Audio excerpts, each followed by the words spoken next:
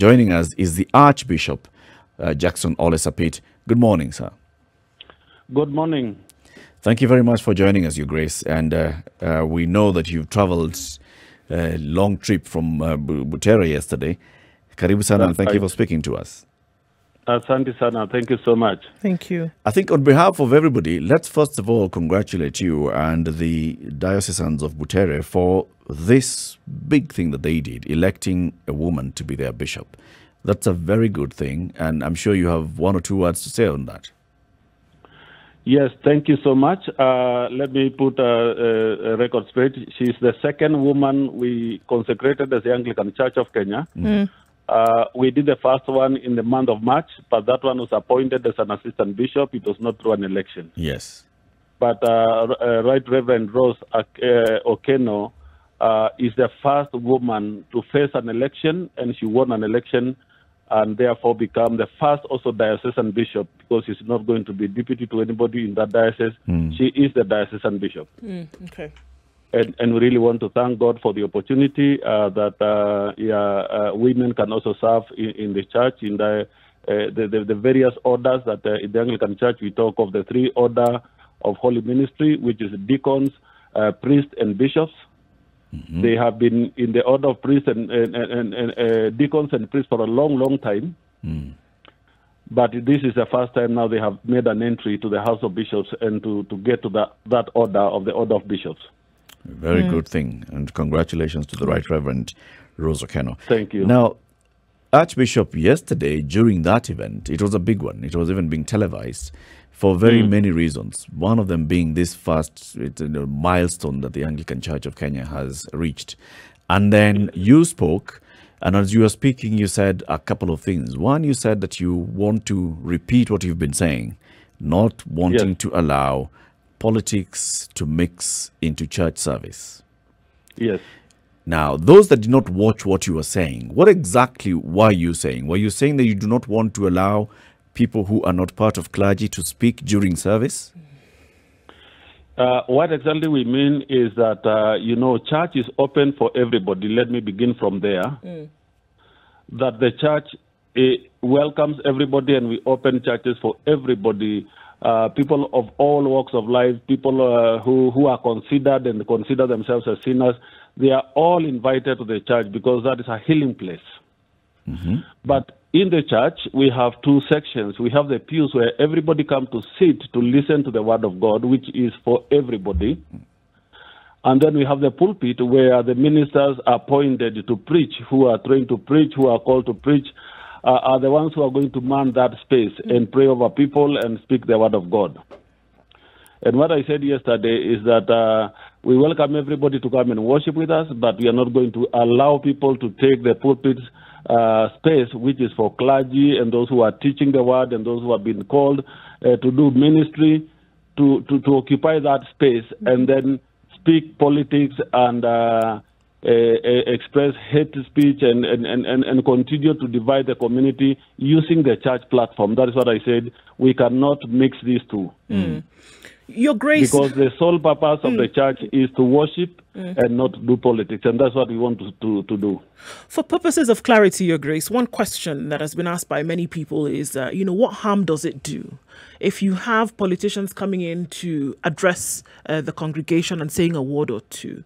From what you said just now, what harm does it actually uh, portend? Uh, what, what I said yesterday is, you know, when a politician comes and there was a sermon uh, preached that day and there was a prayer said, uh, even to you media guys, you don't air the sermon, you don't air the word of God preached, you only air what the politician said, so that at the end of the day, people watching that service that day will only see politics and not church service and not worship and not the word. So, so what I'm saying is, uh, uh, uh, what politicians also come to say is not uh, spiritually edifying. And any, anybody who speaks in the church, either to give a testimony or to sing a song or to offer prayer or to teach or to preach, must be spiritually edifying because that is what people came for. Uh, when they came to church, they came to be edified spiritually. So the kind of rhetoric we hear from politicians who come and take the podium and take the mic is, is not anything spiritually edifying. it is it is hitting on their opponents. It is uh, hitting on these others, and uh, uh, uh, and and, and you, people are left more even divided, and they are left hungry because what somebody at home who was, might be watching that service will see is not the word of God preached, is not a prayer offered. It is a political statement made in the church, mm-hmm. and uh, that's why we say we are saying let the church be the church, the worship hour be the worship hour. If you want to address people, go and wait for them outside, or if you want to address, make your own baraza, call it for, for, for it, and then make your political statement at that point because that is the right place to, for you to make your political statement and articulate what you want to tell people. Mm. But in the church, people came to be edified spiritually, and we want that to remain that we are here to be edified spiritually. Mm. But then, Archbishop, yeah. there are those that say that the church leaders are duplicitous. On the one hand, you do not want to allow the politicians to come and speak, while on the other hand, you want them to participate and contribute uh, handsomely to church projects.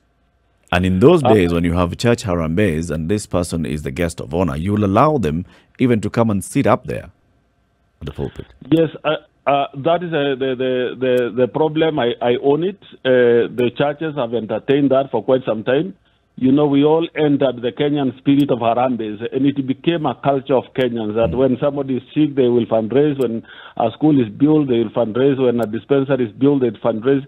And then also churches followed suit. When a church is built, people come to fundraise. But what we are saying now, through those fundraising, we have handed over the pulpit to the politician. Mm. And this is what I want to correct in the Anglican Church of Kenya. Mm. Yes, a mistake has happened and I own it uh, 100% that we have been on a mistake, but we can't remain in the same mistake for long. Mm. A, a, moment of return, repentance, a moment of a turnaround uh, is, is needed and is here, and I've just made that declaration. Uh, I'm, I'm, also going to make uh, another declaration this Sunday that, uh, you know, I've seen a trend developing that always an announcement is made of uh, what is called grassroots and religious leaders have gone to some politician home to be advised on what to do. Yeah. Uh, and I want to say the Anglican clergy and our bishops should not be part of these uh, trooping uh, groups mm-hmm. who are always classified as religious leaders and grassroots leaders. We should be busy preaching the word of God we should be mobilizing people and make our churches centers of vaccination. Mm-hmm. And uh, we need to be mobilizing people to come to be vaccinated of COVID because we are a church that must uh, endear people to where life is, not where life is lost. Mm. Uh, and, and, and I'm going to uh, make a rejoice that uh, not only politicians are not allowed to speak in churches, but I'm also going to bar our clergy and our bishops from joining what they are calling grassroots leaders to make uh, uh, trips to political uh, politicians' homes. Let us be busy doing God's work. Mm. Your Grace, you have ventured into politics and now you're playing politics, if I may say so. When you bar the clergy and who are opinion leaders in a community from participating with other members of the community in seeking guidance and leadership, aren't you basically interfering with their own rights? No, uh, i did not talk about opinion leaders. I'm talking of clergy. Mm. Mm. I'm, I'm Clergy are opinion leaders. leaders. They, they can be opinion leaders in that respect, but you know, when we are we are going to make uh, you know political trips, that is not going to add to the life of the church. So, so the life of the church must be left to our vocation. You know, when I'm called as, as a bishop and the clergy is called as a clergy, we take it as a vocation. Mm-hmm. And we must separate uh, me undertaking that which resonates with my vocation yeah. or abdicating my vocation and get into other things that are not going to add to my vocation. Mm-hmm. Yes. Okay. So how uh, uh, you had previously sent out this message. This didn't. We know this has come from you before these things actually hot uh, got got a lot hotter than they they previously were. Mm. Now, mm. who have you been um, addressing directly, Your Grace? Has it been members of the clergy of the Anglican Church? Or was this message directly to politicians? Is it that don't allow them into church to make, allow them into church, but don't allow them to make these statements during service? Or has it been to politicians? Even as you come here, please realize that this is holy ground, or is it a double message? Uh, actually, I am uh, addressing to both. Mm. Because it, it takes both to make what happen happens. Actually, what we have seen happening happen. Because it is a clergy who normally invite and hand over the microphone. In, in, in the name of uh, uh, an important visitor, I guess has come to the church, he has to address people. Uh, I come here to, to, to greet, and then you don't control what they say then uh, I'm also addressing politicians that when you come, don't expect us to be giving you the space because the only space available is for you to sit in the pews and listen the word of God and be nourished like everybody else who has come, so that we don't mix up uh, the worship hour, which is for spiritual nourishment. Uh, with uh, a, a political uh, uh, uh, rally that people are going to make political statements. Let us let us not collapse that boundary because what we have seen of late in our nation is that we have collapsed our boundaries. We no longer have a boundary between this and that. Uh, it is like everything is a mixture, and uh, we are getting into more confusion. Your Grace, the issue So, of, so of- and I'm, I'm only talking to the Anglican uh, clergy because uh, and uh, the Anglican churches because that's where I have jurisdiction over. Right. I'm not talking over any other denomination. Their heads can be able to make their statements the way they wish. But uh, I'm I'm making this statement as a head of the Anglican Church, and I want to salvage the Anglican Church to be a place of worship, mm-hmm. not a place of other things. Sure. The issue of money and offering and contributions also has come in. That, you know, if politicians are coming in and making generous donations to church, generous donations to, you know, the establishment of church initiatives, then they should also be given a platform. What would be your comment about that? Uh, let me begin by saying it is biblical to give and to be generous and to support the cause of ministry.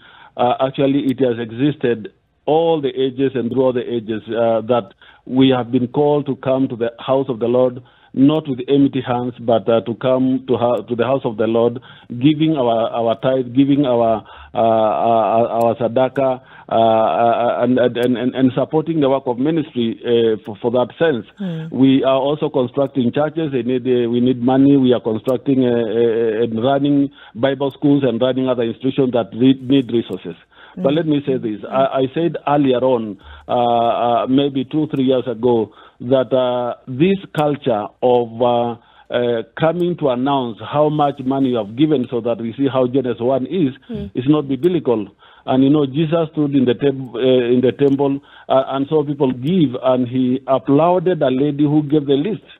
And she said, It is this lady who have given because she has given her very all. Yeah. Uh, and then Jesus teaches us also, you know, when you are giving to, to the work of ministry, let your left hand does not should not even know what your right, right hands have given. So, so, so I said, you know, if you are to give, come and give quietly. It, it, it doesn't have to be a ceremony and something to, which must be announced, uh, because you know, the more we announce, uh, we take credit.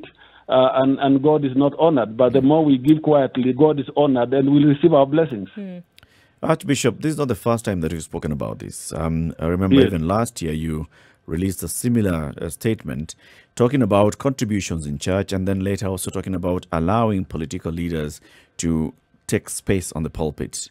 However, we see it continue to happen.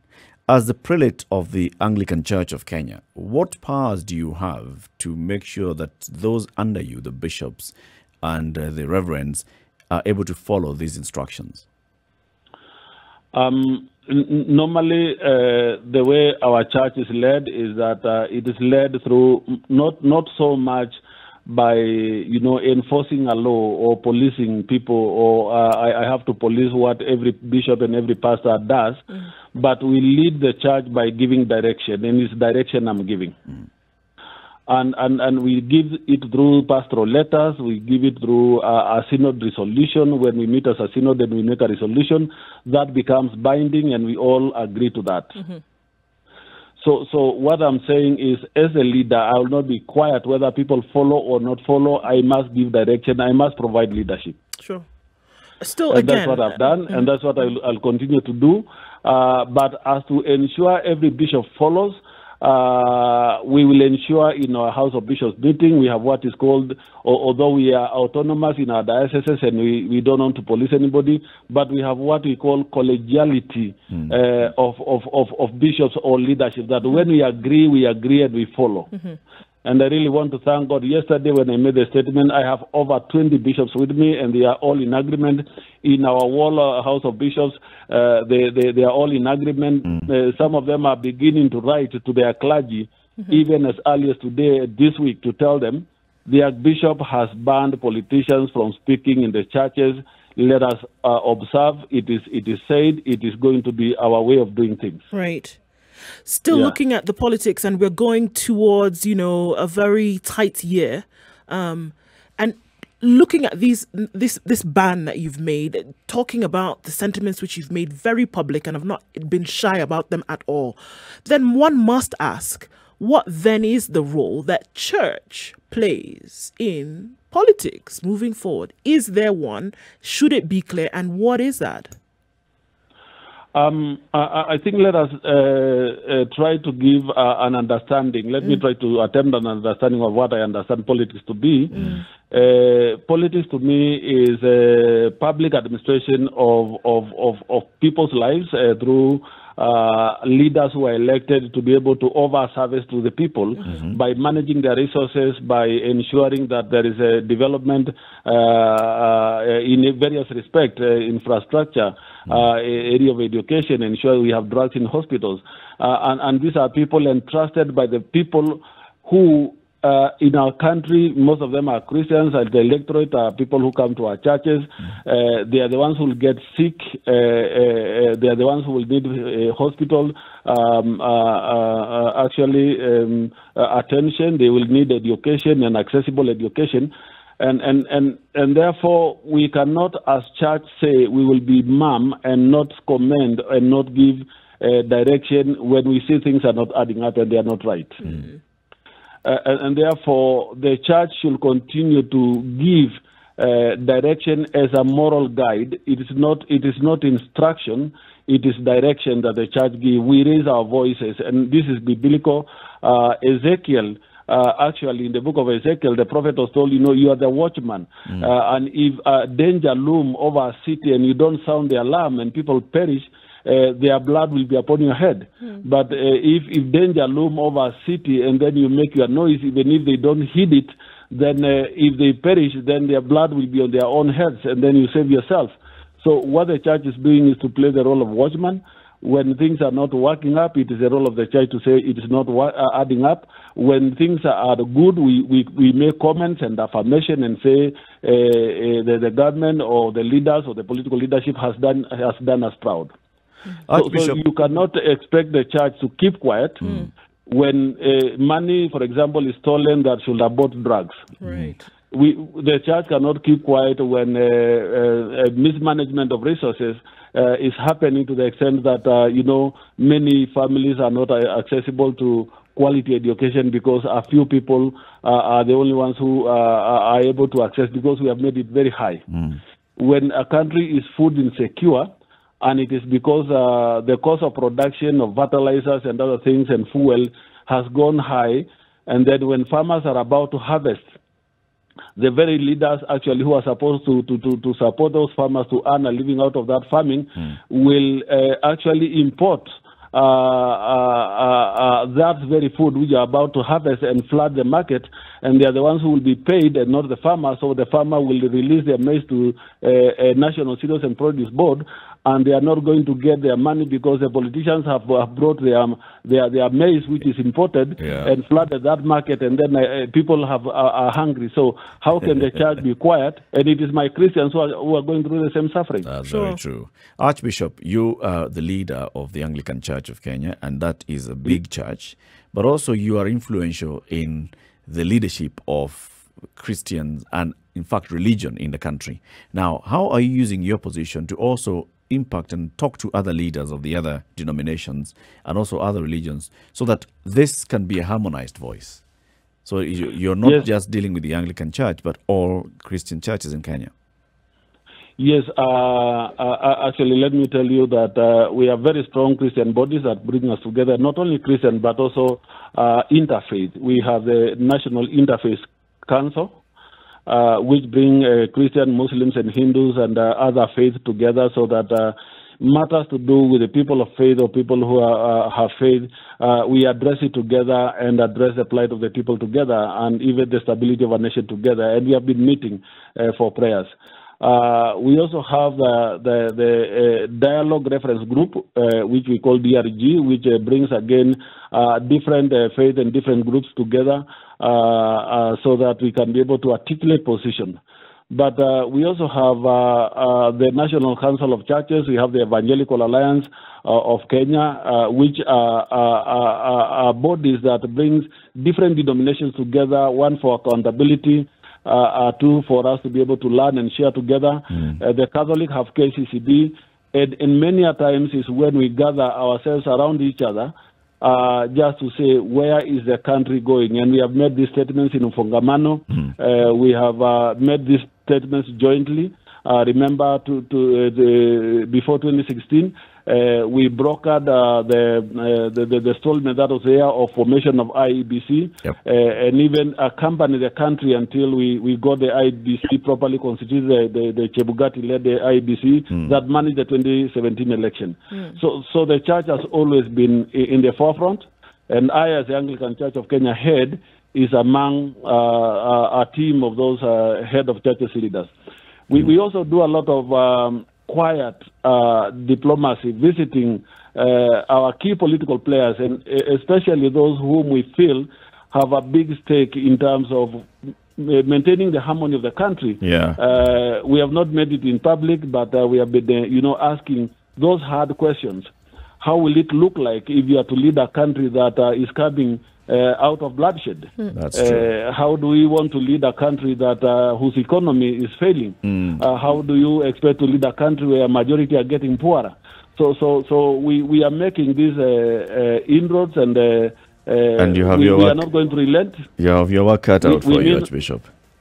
Yes, we may not have succeeded so far, but mm. uh, I know we are in a path. And one day, Kenyans will remember mm. that there is a church that has been giving direction and yeah. giving the guidance, and people will come to appreciate. Archbishop Jackson Ole Sapit, thank you very much for speaking to us today. We wish you a lovely day. Thank, thank you very thank much. You, thank you. Thank you. God bless you. God yeah. bless you too. Aye. This is the Situation Room, the only way to start your day.